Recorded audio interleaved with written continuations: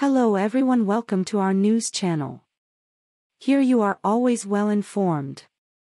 I kindly ask you to subscribe to the channel and leave your like. Thank you very much for watching the video. Despite McConnell's rebuke, McCarthy defends January 6 tape release to Fox News. Despite a chorus of widespread attacks on Fox News host Tucker Carlson for his portrayal of the January 6 attack on the Capitol, including from Senate Minority Leader Mitch McConnell, House Speaker Kevin McCarthy defended his decision to hand over the more than 40,000 hours of related security footage. Carlson and his team had exclusive access to the security tape surrounding the attack thanks to McCarthy, drawing concerns the host would use it to spread a new wave of disinformation. McCarthy said on Tuesday evening that he didn't watch Carlson's show the night before, where Carlson said that January 6 was mostly peaceful chaos, and that the footage does not show an insurrection or riot in progress. I continue to hold that my job here, just like I was asked long before, is to make sure all the transparency comes out and that's exactly what I'm doing, McCarthy said. McCarthy finds himself out of step with McConnell. The Senate Republican leader said Tuesday afternoon he aligned himself with remarks issued earlier Tuesday by U.S. Capitol Police Chief Tom Manger to his rank and file slamming Carlson's offensive and misleading conclusions about the siege. He held up Manger's one page statement, called Truth and Justice, near the Senate chamber. It was a mistake, in my view, for Fox News to depict this in a way that's completely at variance with what our chief law enforcement official here at the Capitol thinks, McConnell told reporters. Earlier Tuesday, Manger asked his statement be read at roll call meetings for rank and file and posted on all Capitol Police bulletin boards. In the memo, which was obtained by NPR, Manger listed out a series of falsehoods portrayed by Fox.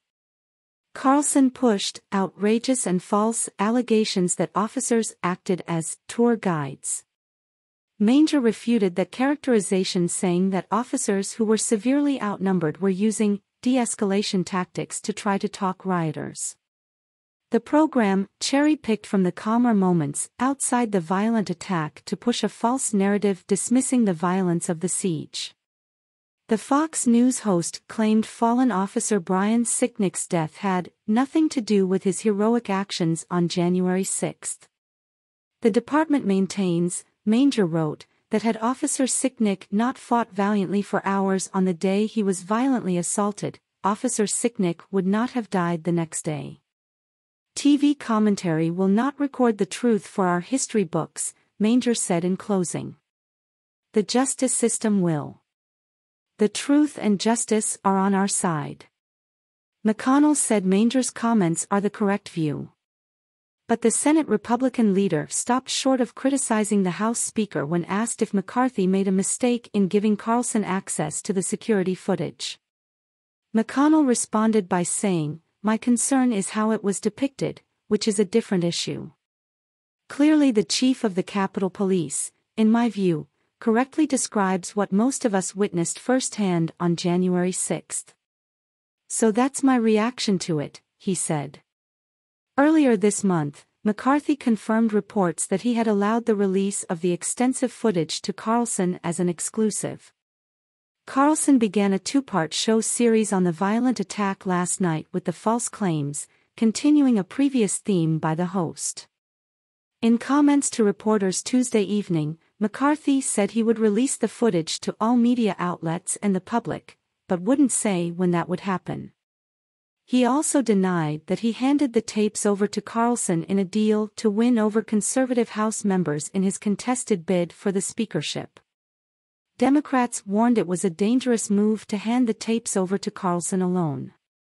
Senate Majority Leader Chuck Schumer doubled down on those concerns speaking to reporters after McConnell's remarks.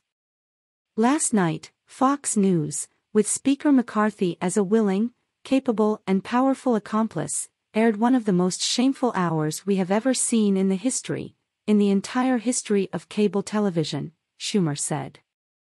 Tucker Carlson is a propagandist publicly pretending to be a newsman.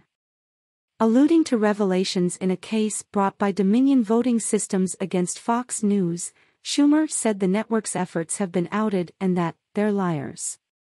Fox News did not immediately respond to a request for comment.